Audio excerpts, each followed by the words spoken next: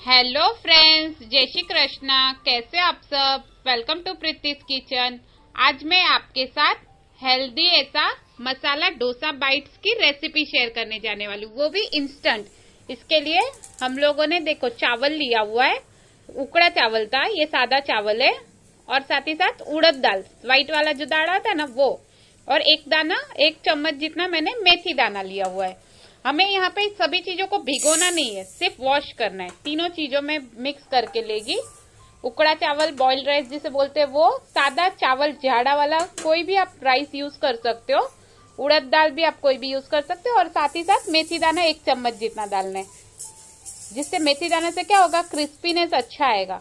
क्योंकि हम लोग फर्मेंट नहीं करने वाले, ना ही आथा आने देने वाले, ना ही भिगोने वाले इंस्टेंट वाले ये अपम है। ये जो है मसाला डोसा बाइट से देखो, अभी इसको हम लोग वॉश करके लिया है, जिससे इसके ऊपर का डस्ट निकल जाए। अभी मिक्सचर जार में लेके मैंने एक बार ऐसे चला लिया। और फिर क्या करना है, अपने को एक वाटी जितना दही डालना है। जो चावल का माप लिया था ना, वही माप से एक वाटी जितना दही पहले डालना है और मिक्स करना है सभी चीज़ों को। और फिर पीस के लेना है थोड़ा सा। एक बार फिर से चला के होगा ना मिक्सचर उसके बाद अपने को आधा वाटी जितना दही फिर से डालना है। टोटल अपने को डेढ़ वाटी डालना है बट एक साथ नहीं डालना है दही। देखो, मस्त अपना बैटर पीस के हो जाएगा। अगर नहीं पीसने हो रहा है तो आप थोड़ा सा पानी का इस्तेमाल भी कर सकते हो। और यहाँ पे मैं थोड़ा सा ही बैटर ले रही हूँ। अभी जितना बनाना है ना, उतना। बाकी बैटर मैं अलग रख रही हूँ। थोड़ा सा नमक डाल रहे उसमें हम लोग। और इन सभी चीज़ों को अच्छे से मिक्स करके लेना है। ये इतना मस्त हेल्दी नाश्ता होता है और इसे बनने के लिए हार्डली पंद्रह मिनट का टाइम लगता है। आप चाहिए तो मॉर्निंग ब्रेकफास्ट वगैरह में इसको ले सकते हो। इवन बच्चों के टिफ़िन बॉक्स के लिए तो बेस्ट ऑप्शन है। इवनिंग स्नैक्स रात के डिनर में भी आप ले सकते हो। देखो, सभी चीज़ों को मिक्स करके अपने को कम से कम दस मिनट का रेस्ट देना है। वो रेस्ट हो रहा है, तब तक अंदर का स्टफिंग रेडी कर लेते हैं। इसके लिए थोड़ा सा तेल गरम रख दिया था मैंने, और थोड़े से राई के दाने डाल दिए। और थोड़ा सा जीरा डाल रही हूँ मैं। साथ ही साथ थोड़े से हम लोग अभी अदरक और मिर्ची उसके टुकड़े डालेंगे। देखो, मिर्ची के टुकड़े डाल रही हूँ और थोड़ा सा अदरक के टुकड़े डालेंगे, बारीक किए हुए। आप चाहिए तो अदरक, मिर्ची का पेस्ट का भी इस्तेमाल कर सकते हो। और थोड़ा सा प्याज, एक कांदा जो था ना, उसको मैंने बारीक चॉप करके लिया हुआ है, वो डाल देंगे हम लोग। और हाई फ्लेम पे इसको अच्छे से हम लोग भून के लेंगे। अपने को ज़्यादा नहीं पकाना है कांदे को। थोड़ा सा हल्का सा ट्रांसपेरेंट कलर आ जाता ना, तब तक अपने को भूनना है। उसके बाद थोड़े से पके हुए आलू जो रहते हैं, उसको मैंने थोड़े छोटे छोटे टुकड़े करके थोड़ा सा मैश करके लिया है। पूरी तरह से मैश नहीं करना है और थोड़ा सा हल्दी और नमक डाल दिया है। और इन सभी चीज़ों को अच्छे से मिक्स करके लेना है, देखो। अपने को पूरा का पूरा जो है ना, आलू, उसको मैश नहीं करना है। थोड़े बहुत आलू को मैश करना है, थोड़े बहुत ऐसे टुकड़े रहने देने हैं, जिससे इसका डोसे वाला एकदम मसाला डोसा में कैसा, कई टाइम अक्खे अक्खे आलू आ लेते वैसा टेस्ट आएगा। देखो, मस्त मिक्स हो चुके अभी थोड़ा सा हरा धनिया डाल देंगे।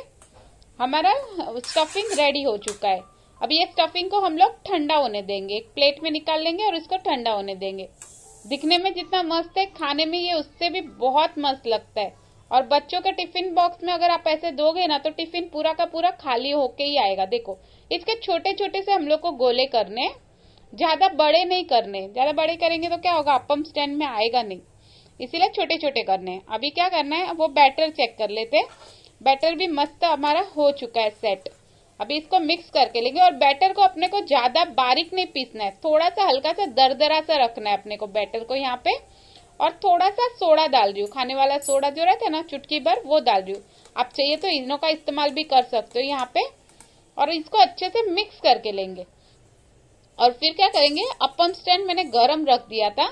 यहाँ पे थोड़ा थोड़ा तेल डाल देंगे हम लोग उसमें। और तेल गरम होने का राह देखना अपने को।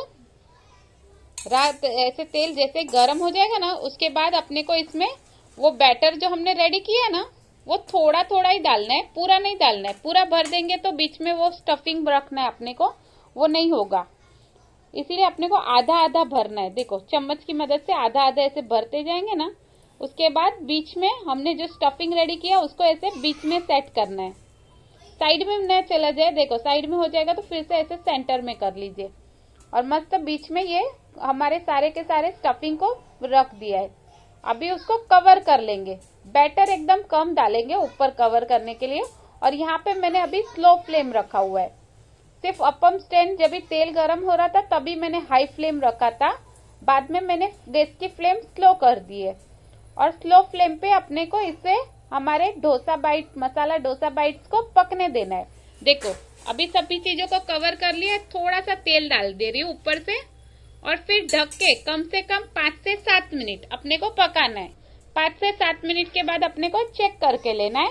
ऊपर से देखोगे ना तो सभी परत जो है, ऊपर का पूरा ड्राई हो चुका है और फिर चम्मच की मदद से इसको ऐसे पलट के लेना है।